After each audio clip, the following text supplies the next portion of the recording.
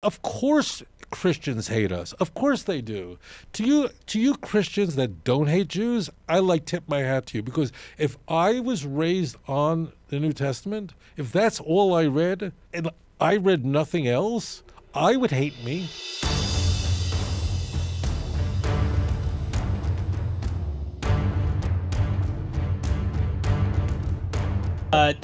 Doc Pluralmanat, thank you for the super chat. He says Jewish indifference to Jesus versus gospel projected perversion of rejecting the message. I'll probably have to repeat this question, by the way. Um, seems ahistoric. If the law was kept and Romans were appeased, why care about a smattering of converts? So I'll read it again. Jewish um, indifference to Jesus versus gospel projected perversion of rejecting the message seems ahistoric. If the law was kept and Romans were appeased, why care about a smattering of converts? There are 89 chapters in the Gospels. Four of them are infancy narratives two Luke, two Matthew. Matthew's infancy narrative, those two chapters, are, I can't say the most outrageous, but really the, they're, they're really quite outrageous. The Jews would have an aversion to it because Matthew engages in uh, so many. Uh, this is the, the kind of. If you're a young man or a young woman, do not do what Matthew does. That's not the way to behave. I'm just. It's important to be honest. Matthew is engaging in complete corruptions of the Jewish scriptures, and he's also lying to his. He's lying to his audience. Where do you begin? Uh, so let's lock this up really quick. Uh, Matthew begins with This is the genealogy of Jesus Christ, son of David, son of Abraham. Okay? And he proceeds through verse 16 to give us the whole list of the link from it's really Joseph's genealogy. So if Jesus was born a virgin, it's not even relevant. It's one of the crazy elements. Of, this is the least of the problems. But the moment you introduce the notion that Jesus was born to a virgin, that means that Joseph was not Jesus' father, and Joseph's genealogy then becomes irrelevant. So we're actually presented with a putative genealogy of Joseph, and it's irrelevant to Jesus because G- Joseph wasn't Jesus' father. Let's just put that all aside. Hmm. In verse 17 of Matthew chapter 1, the author states that this is not an arbitrary collection of names, but there are actually three sets of 14 generations from Abraham to David, and that is 14 generations. From David to the going out of to the Babylonian exile, 14 generations, and then from the Babylonian exile to Christ is 14, 14, 14, 14. Well, you know, when Jews hear that, they're going, What? Now, why is 14 really important to Matthew? It's humongous. Why?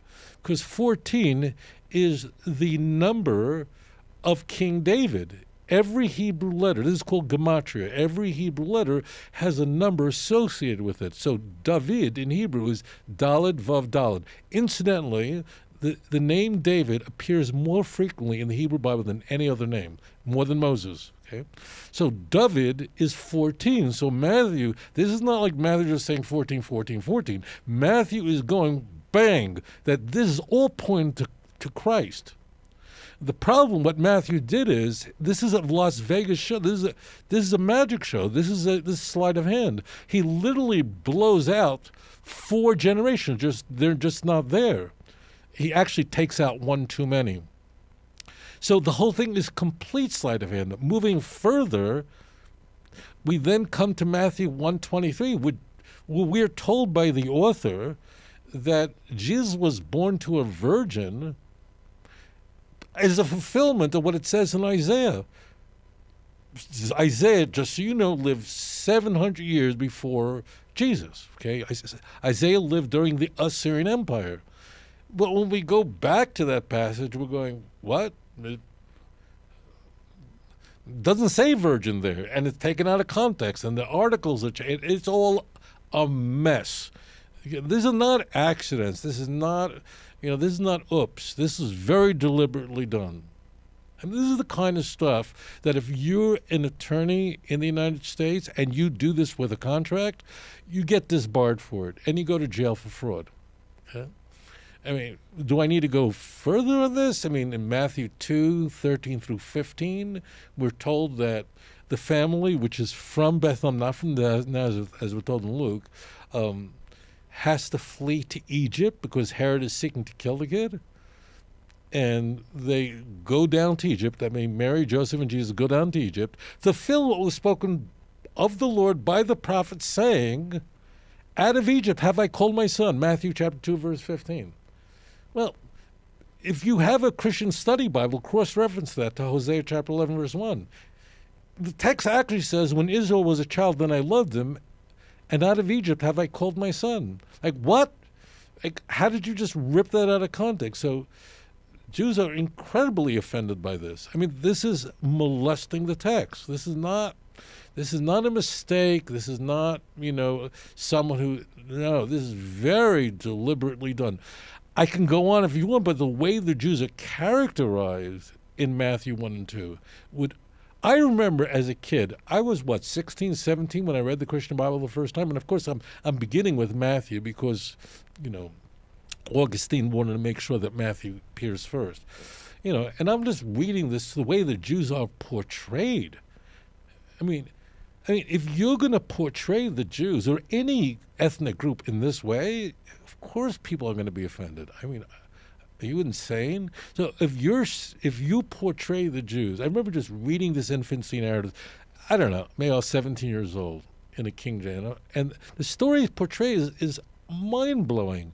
That that Herod finds out that the King of the Jews was born in Bethlehem. This is in Matthew chapter two, verse six. Okay, and Herod doesn't like that idea because he was the king of the Jews in his view and then he sets off to kill the kid. Meanwhile, you have Magi, Magi, who uh, presumably what's in view is some Persian uh, group of non-Jews. They're coming from the east. Let's just say Persia, okay? And they're that means they're not Jewish. And when they find little Jesus following the star to Jerusalem and then to Bethlehem, they worship the kid. They bring gifts for the kids. I mean, think of the reason why they think there are three is because there are three gifts. We don't really know, know the number of people. So here you have the setup. I mean, the the Jews, upon hearing that the Messiah was born in Bethlehem, want to kill the kid, and in fact, kill every child in Bethlehem that's two years old and younger.